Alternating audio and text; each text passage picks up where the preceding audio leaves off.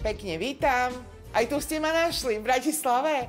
Aj Šarika vás víta. Nech sa páči, poďte ďalej. Poďme. Volám sa Nora Kabrehelová, mám 63 rokov a som dôchodkynia.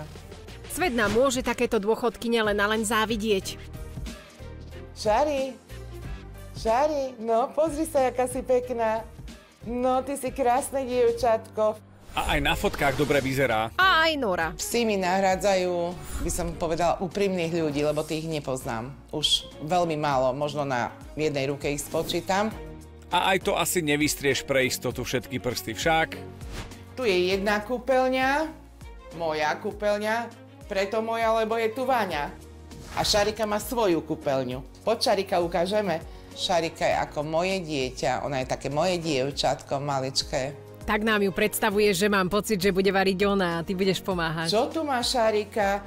Takéto krásne gumičky, takéto nádherné sponky do vláskov. Šárika spí ako kráľovná. Tu má Šarika svoju skriňu, Hmm, luxusné. tu má nohavice, tu má trička a toto všetko je moja práca, čo som poplietla. Ty keď sa popletieš, to je vlastne dobré. Toto som plietla napríklad taký pulový krásny, bielo-červený.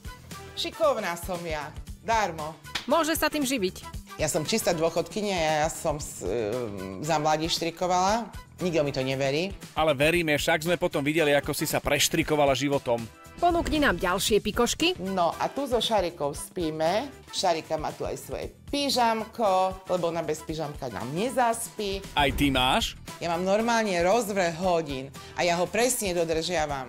Ja chodím presne spávať, presne mám čas určený, kedy pletiem, presne mám určený čas, kedy pijem kávu To je teraz. Tak rýchlo pí. a presne mám určený čas na šariku. Toho máš najviac. No a toto je môj šatník, veľmi skromný šatník. Na moje pomery už neexistujú ani kožuchy, ani 500 kabeliek, chvála Pánu Bohu. Každý máme nejaký životný vývoj. Mňa obrali o celý majetok počas mojej väzby. O celý majetok som prišla.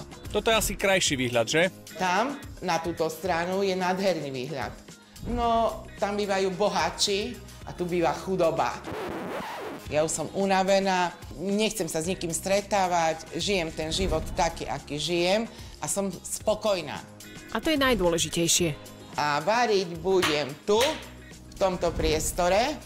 Budem variť tradičné slovenské jedlo, aby sa už konečne dnes aj chlapi najedli, lebo doteraz si myslím, že ja teda som sa osobne nenajedla. Držte mi palce, idem na to. Keď budeš krájať,